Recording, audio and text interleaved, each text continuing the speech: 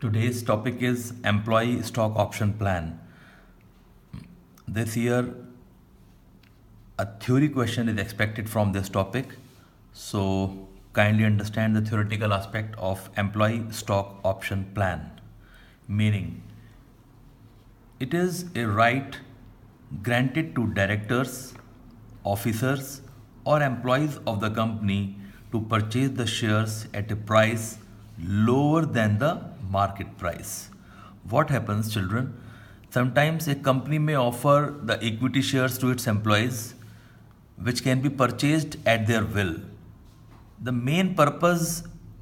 is to inspire or motivate the employees so that they may work with their full potentials. तो company ये चाहती है कि अपने एम्प्लॉयज़ को रिटेन करे लॉन्गर पीरियड के लिए तो company offers it shares at a price lower than the market price. So this plan under which the directors, officers or employees of the company are offered the shares at a price lower than the market price, this right or this plan is known as employee stock option plan.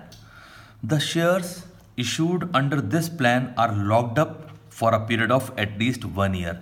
Locked up for a period of one year means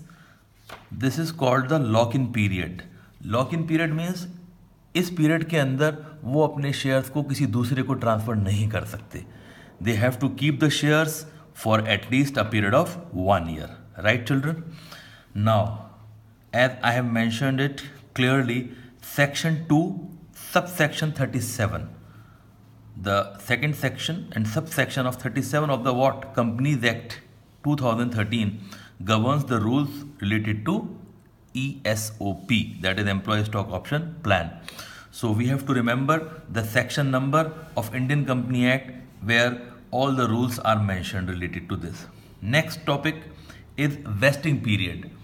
What is vesting period I should explain. It is the period in which ESOP, the employee stock option plan remains operational. क्या करती है company option देती है कि भाई kindly make up your mind to purchase the shares तो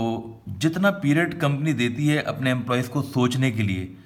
कि भाई, आप चाहें तो शेयर्स खरीद सकते हैं within this period you can make up your mind so during this period the company observe the willingness of the employees to buy the shares under this scheme so period in which the scheme remains operational this is called vesting period next is exercise period after the completion of vesting period company अगर एक साल का vesting period दे रही है कि भाई आप माइंड मेकअप कर लो। उसके बाद कंपनी फिर एक साल और देती है कि within this time you can apply for the share and you can buy the share that period is known as what exercise period it is the period during which employees have to buy the shares यहाँ तो उनको thinking time दिया गया। तो जो thinking period था, उसको क्या कहेंगे? वेस्टिंग और period within which they have to buy the shares that is called what period exercise period मगर इसमें इंपॉर्टेंट बात क्या है? They may accept the offer और they can reject the offer of the company they have all right to reject और accept the offer of the company they are not bound to buy the shares exercise price it is a specified price at which options can be exercised options can be exercise का मतलब होता है shares can be purchased the word option refers to shares so at which options can be exercise by the employees of the company मतलब जो price company offer करती है। That offer price is known as what price exercise price suppose करिए share की market price है hundred company offer करती है fifty में। तो that fifty rupees is the what price exercise price we will not call it issue of share at discount we will call it share issued under E S O P last value of options. It is the excess of market price of a share over the exercise price of the share. As i have explained, कि अगर 100 का share है और company उसको 50 में offer कर रही है so that difference of 100 and 50 the offer price and the market price the exercise price and the market price that difference is known as what value of options तो excess of market price over exercise price of the share is known as what value of options Now children, understand a small numerical which will make the meaning of value of option more clear to you. Suppose a company issued 5000 shares under employee stock option plan at rupees 40 per share.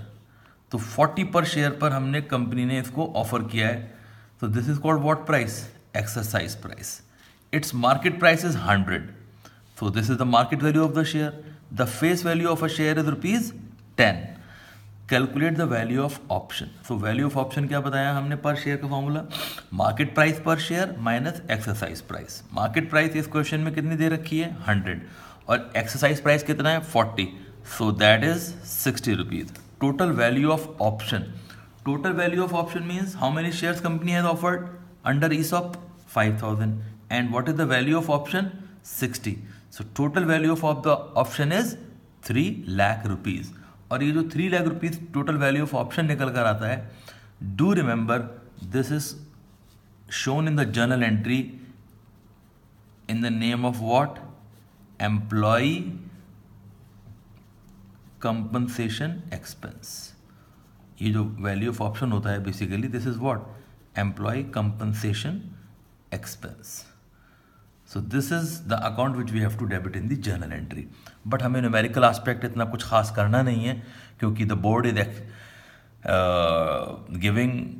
not more than a question of one mark और two mark और one mark और three mark but it will be all theory based question so these are the important points you have to remember. Thank you.